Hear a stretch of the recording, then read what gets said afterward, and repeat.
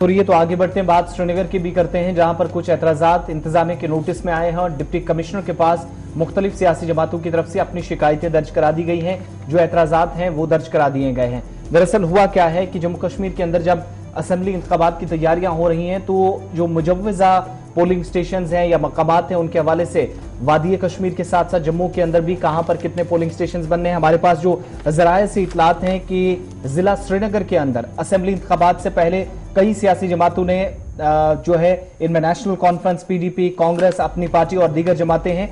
हदबंदी commission के ज़रिए जो पोलिंग स्टेशनों के मुजवजा मकामात हैं या फाइनल पोलिंग स्टेशन के बारे में जो तजावीज थी, उसके बारे में डिप्टी कमिश्नर श्रीनगर के दफ्तर में अपने एतराजात जमा करा दिए हैं। उनको एतराज़ है कि यहाँ पर नहीं होना चाहिए। बहुत सारे इसमें वजूहत बताई गई है।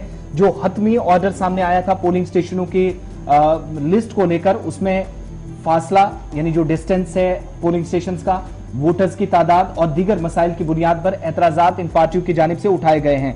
यहाँ पर यह भी बताना ज़रूरी है कि डिप्टी कमिश्नर की जानब से एक नोटिफिकेशन जारी किया गया था जिसमें यह कहा गया था कि हदबंदी कमीशन की जो हतमी रिपोर्ट है या हुक्मनामा है, उसके बाद यह तजावीज और एतराजात तलब किए गए थे।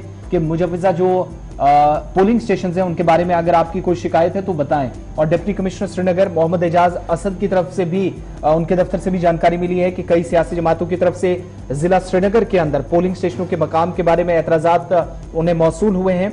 और इसका जायजा लिया जाएगा क्योंकि कुछ एतराजात हकीकी थे जो डिस्टेंस का इन्होंने हवाला दिया है पार्टियों ने। और वोटरों की तादाद या जो दीगर मसाइल की बुनियाद पर सवाल उठाए हैं एतराजा दर्ज कराए हैं, उस पर जवाब ज़रूर दिया जाएगा।